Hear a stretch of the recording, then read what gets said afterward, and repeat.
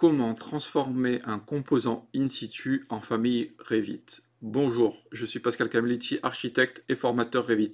Aujourd'hui, je vais vous présenter un tutoriel sur comment transformer donc une famille in situ, composant in situ que vous auriez créé en famille Revit pour pouvoir le dupliquer très rapidement. Vous pouvez voir à ma gauche donc comment euh, je suis passé donc de d'une famille in situ à une famille Revit, donc un composant in situ en famille Revit, de manière à pouvoir euh, réaliser ça euh, rapidement vous êtes nombreux et nombreuses à travailler sur des bâtiments existants et avoir des choses répétitives sur des, des mots des natures et autres.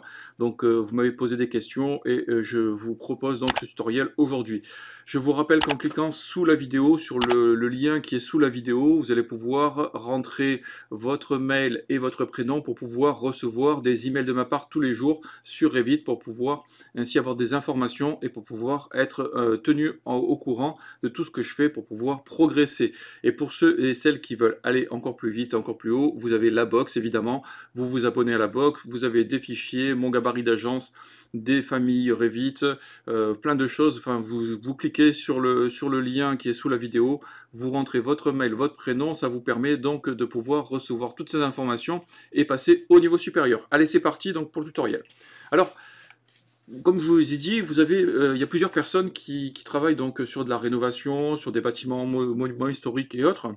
Et euh, dans ce type de bâtiment, nous n'avons pas euh, la possibilité donc de, faire quelque chose qui soit trop trop répétitif dans le sens parce qu'on a quand même des formes qui sont un peu particulières, des mots des natures, des menuiseries, des, éléments un peu particuliers. Et là, je vais vous donner l'exemple de la mode des natures qu'on aurait pu faire en in situ pour gagner du temps, euh, plutôt que d'en faire une famille à la base, etc. Donc là, on, veut faire rapide pour gagner du temps. Bah, c'est quelque chose que j'aime bien faire, hein, comme vous, si vous commencez un peu à me connaître, j'aime faire les choses rapides et efficaces. Donc pour pouvoir faire euh, donc une modénature de ce type, il suffit de faire une extrusion. Donc comment on fait ça? Bah, Tout simplement, bon, je vais commencer par le, par le haut. Alors, il vous suffit donc d'aller dans Créer, ici Composant, Créer in situ. Et dans Créer in situ, je vais aller dans Mur, Et là je vais l'appeler modé nature étage. Allez, comme ça au moins, il n'y a pas de risque d'erreur. Du coup, on va définir le plan de référence, on va choisir le plan de référence de travail et on va prendre la façade évidemment, parce qu'on va faire une modélature qui va euh, euh, extruder. On peut se mettre directement sur une élévation comme ça. Et il vous suffit donc de créer une extrusion. Attendez qu'on a changé de plan de référence, on est sur le plan de référence vertical et on peut faire ce que l'on veut. Alors, en l'occurrence, ce que je vais faire, c'est que là, du coup, je vais venir ici. Allez, on va faire comme ça. Ce que je vais faire, c'est que je vais aller... Je le fais un peu vite fait, hein, histoire que vous compreniez la logique, puis après je vous laisserai éventuellement jouer sur les choses. Là, du coup, ce que je vais faire, c'est que je vais reprendre celui-ci, je vais le dupliquer et je vais le mettre au-dessus. Ah, puis là, légèrement décalé. C'est pas très grave, hein, mais voilà, je joue avec les touches là, de, flèches verticales, etc. Là, ce que je peux faire, c'est prendre ça et je vais faire donc euh, une copie multiple. Hop, CC au clavier. Voilà. Là, je prends ça ici. Et là, je clique, je clique, etc. etc. on va faire ceci. Voilà. Imaginons que celle-ci soit plus courte, on va venir l'aligner. Bon, je sais qu'architecturalement, c'est pas très beau, c'est pas très ça, mais bon, voilà, c'est pas, c'est pas le souci là du, de la chose. Euh, du coup, là, je vais faire une symétrie, de manière à avoir quelque chose qui soit de part et d'autre. Et maintenant, donc, si j'avais besoin donc, de créer euh, quelque chose qui soit un peu original, allez, hop, on va faire, on va partir du centre, on va faire une, pièce comme ça. Et après, euh, je vais faire un réseau. On va, faire quelque chose qui sera de cet ordre-là. On va être basique. C'est vraiment là en live, hein, en extra live. Euh, hop. On va se faire comme ça. Tac. Tac. Bon, je pourrais faire un réseau hein, automatiquement. Mais là, j'essaie de vous montrer euh, différentes solutions, différentes techniques. Euh, si j'avais voulu le faire exprès, j'aurais pas pu. Et là, ce qu'on va faire, c'est que du coup, on va, on va l'incliner. Et là, je vais venir ici. Voilà. Et là, ce que je vais faire, euh, j'en sais rien, on va faire une pierre. Voilà, on va, remonter une pierre. Euh, on va être Je sais, alors pour les puristes, hein, ne pas, ne me hurlez pas dessus, il n'y a pas de souci, c'est juste pour la démo, hein. je fais quelque chose qui vraiment, comme on le fait habituellement quand on est charrette, on veut quelque chose qui, ressemble à quelque chose, et bon, voilà, c'est pas très beau, je sais, pas de souci, j'assume.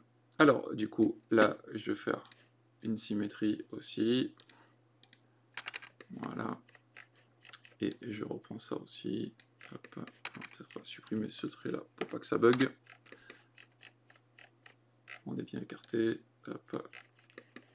Là, voilà. Tac, tac. Voilà. Bon, il y a peut-être un petit décalage. Allez. Donc là, une fois qu'on a créé ça, euh, on va faire une extrusion de 3 cm. On va voir ce que ça va donner.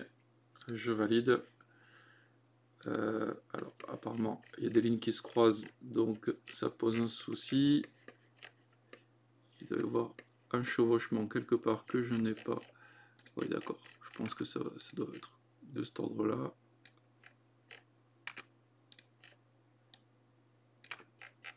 Vous voyez, il faut vraiment être précis dans ce que vous faites, parce que quand on fait les choses un peu trop rapidement, forcément, les extrusions vite est assez tatillon là-dessus. Voilà. logiquement là maintenant ça devrait être bon. Si je valide, voilà, très bien.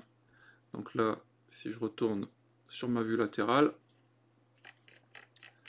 j'ai bien mon extrusion. Bon, maintenant, euh, de, si j'avais besoin de créer de cette extrusion-là, euh, en faire une famille, pour pouvoir le répliquer sur euh, les différentes vues, ben, il me suffirait simplement de créer un groupe. Donc vous allez ici, donc, dans Créer groupe, raccourci GP, vous faites un groupe, et on va l'appeler Nature 02. Ok. Ce groupe-là, on voit ici qu'on a un, point de base. On, peut donc le positionner de manière à, avoir l'endroit sur lequel on voudra que euh, l'élément se positionne lorsqu'on aura la, famille à la suite. Alors, sachez que ce sera une projection que vous aurez sur le niveau sur lequel vous allez poser, hein, mais au moins c'est fait. Et une fois que c'est fait, une fois que vous avez groupé comme ça, vous allez sélectionner euh, votre, votre mot des. Donc vous êtes toujours dans l'édition de la mot des natures. Hein. Et on peut faire, oh, sélectionner ou pas, on vous dira. Et on peut faire enregistrer sous bibliothèque. Et là, les groupes, vous allez cliquer dessus. Et là, on va appeler l'élément. Donc là, je vais aller dans mes tutos, histoire de le mettre au bon endroit. Et là, je vais l'appeler natures 02 et il m'a créé une famille. Voilà, là je finis ma validation. Je pourrais éventuellement la supprimer, hein, si, si tant que, je veuille la, supprimer. Et maintenant, il me suffit d'aller chercher donc mon fichier. Je vais l'ouvrir. Donc vous voyez, c'est une famille. Je la charge dans le projet. Donc on va le créer ici.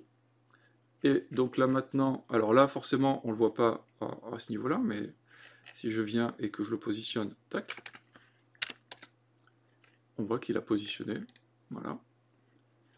Et là du coup, je peux me mettre ici, on voit bien que c'est une famille de murs, et là du coup, je peux le dupliquer autant que je veux,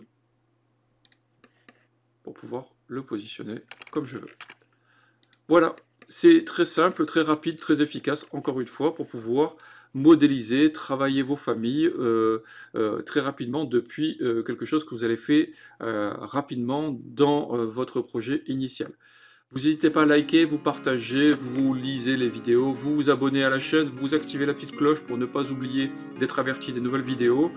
Vous cliquez sous la vidéo pour pouvoir recevoir mes conseils gratuits par email tous les jours. Je vous dis à la semaine prochaine pour un nouveau tutoriel. Revoir.